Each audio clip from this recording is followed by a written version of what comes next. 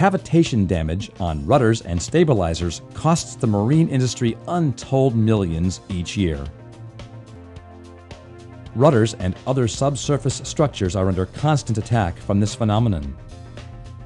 It is sometimes difficult to grasp the destructive effects of imploding water vapor cavities, but they can be clearly seen here.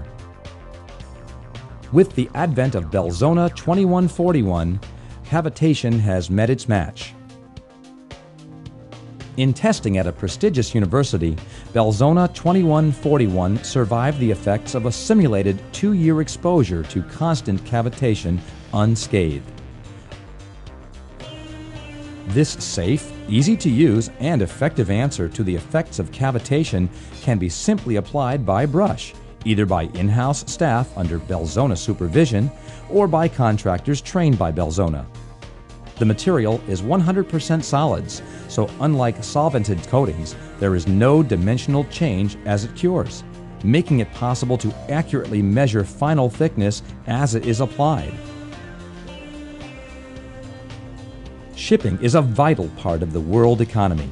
Keeping ships at sea is paramount to their contribution to that economy.